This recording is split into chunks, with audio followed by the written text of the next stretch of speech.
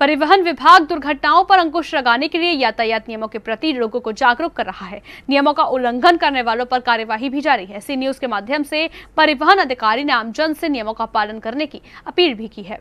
परिवहन विभाग दुर्घटनाओं पर अंकुश लगाने के लिए यातायात नियमों के प्रति लोगों को जागरूक कर रहा है। नियमों का उल्लंघन करने वालों पर कार्यवाही जारी है। सी न्यूज़ के माध्यम से परिवहन अधिकारी ने आमजन से नियमों का पालन करने की अपील की है।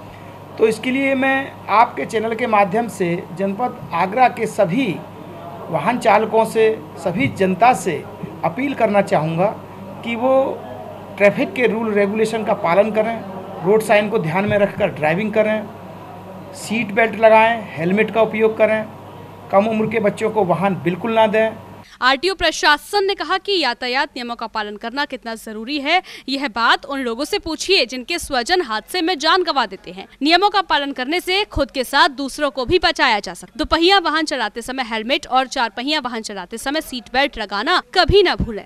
और जो अब भीड़ भाड़ का रहेगा थोड़ा सा तो उसमें ड्राइविंग करते समय विवेक रखें, विवेक का इस्तेमाल करें ड्राइविंग करते समय संयम रखें और अपने अपने वाहनों पर रिफ्लेक्टिव टेप अवश्य लगवाएँ।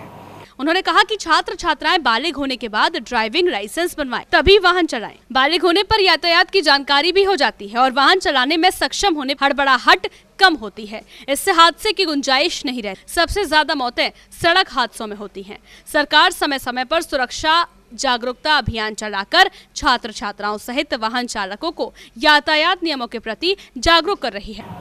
क्योंकि आपका त्यौहार है, सबका त्यौहार है। हँसी खुशी से बीतना चाहिए। मेरी ईश्वर से प्रार्थना है कि किसी के साथ कोई घायल ना हो, कोई दुर्घटना ना हो। इसके लिए हमको सजग रहना पड़ेगा, क्योंकि एक भी जनहानि नहीं होनी चाहिए। हर आदमी कीमती है, हर आदमी की ज़रूरत है परिवार को, सबको, देश को, राष्ट्र को, सबको ज़रूरत है।